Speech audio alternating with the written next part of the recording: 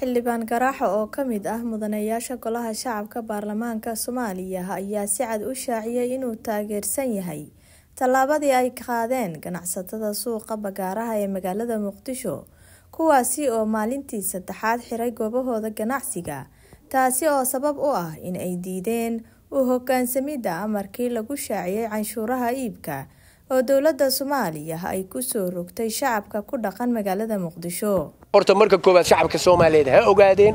Annagu mucaarad maahin muxaafid baa nahay oo waxaan u doodaynaa waa ayaga. Waxaan kaloo leeyahay shalay waxaa hadlay wasaaradda gaadiidka. Wasaaradda gaadiidku. Waxay tidhi agaasimaheedu afartan iyo kow iyo nus weey lacagta leysinku shalana wasiiraddii waxay tidhi boqol iyo lix iyo kow wey boqol iyo lix iyo bar. Waxaannu ognahay inay ka badanayso. Waxaannu ognahay dhowr isbaara in afarta koono muqdisho ay yaalliin. Lama soo qaadin.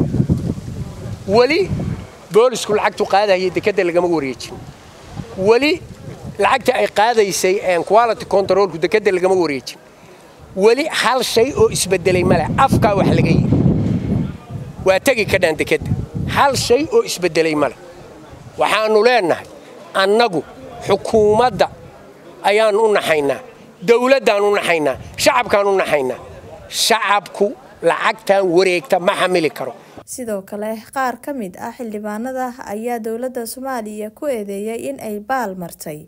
Kala dambeynta iyo sharciga iyagoona sheegay in xukuumadda soomaaliya ee si iskeeda ah u dhaqangelisay xeerka lagu qaadayo canshuuraha iibka. Waxa ayna nasiib darro ku tilmaameen inuu madaxweynaha taageeray tallaabadaasi. In la qaado annaga dhanaa isku raacsan. Ceeb miyaa in la yidhaahdo jidgooyooyinka kale ee loo dhigtay ha laga daayo. Shacabku waa noo soo dacwooda maalin kasta. Ex control lacagaa lagu qaada. Waxaan u tegey gudoomiyaha maaliyadda gobolka banaadir ama gudoomiye ku-xigeenka maaliyadda محاك صعطة وحبك الله مصعدو إلى مركز هذانا الله يسوع وع عن شو رب هذانا وحاجة جرو ماشي يكون بحان يضط عادي اللوحرك وأنا الله وذا قرصي هاي وزيرك يا قرصه wasiirkii naftirkiisa hadda hortayna ku qirsan waxaa ogsoontihiin bajaajlaydu markay dhaheen intaasaa nagala qaadaa waxaa hadla agaasimaha wasaaradda gaadiidka wuxuu yidhi afartan iyo kow waxaan ahayn ciddi laga qaado. Ha soo sheegto been miya. Haddana waxyar kadib waa la hadlay waxaa la yidhi boqol iyo lix dollar iyo shan boqol. Waa iskhilaafsan tahay. Inay iskhilaafsan tahay oo sidaas kala duwan ay dhacdo maxaa keeni karo? Waa in sistem la ilaaliyo. Haddii marka aad muxuu ahaa xildhibaanada aynan u kala qaybsamin oo sida sunnada ah qaarna aysan dhihin waxbaa qaldan oo aysan iftiiminin isla xisaabtanna uusan meesha imaanin. Meeshaas dawladnimona ma jirayso waana lagu wada baaba'aya dadkana way ku dulmanaanayaan. Hadda tusaale ahaan shalay iyo maanta suuqa waa xihan yahay.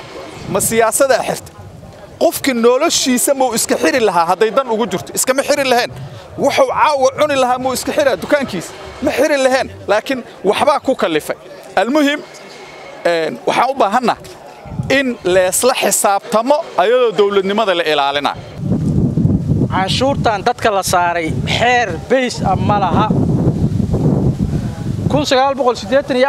Bishii janawari xeer dawladdii kacaanka ay soo saartay ee barcent ah ee laga qaadayey warshadaha waxyaalaha soo dega ee daruuriyaadka aan ahayn iyo waxyaalo la mid ay ahayd barcentigaasu wuxuu ku fadhiyey shilin soomaaliga.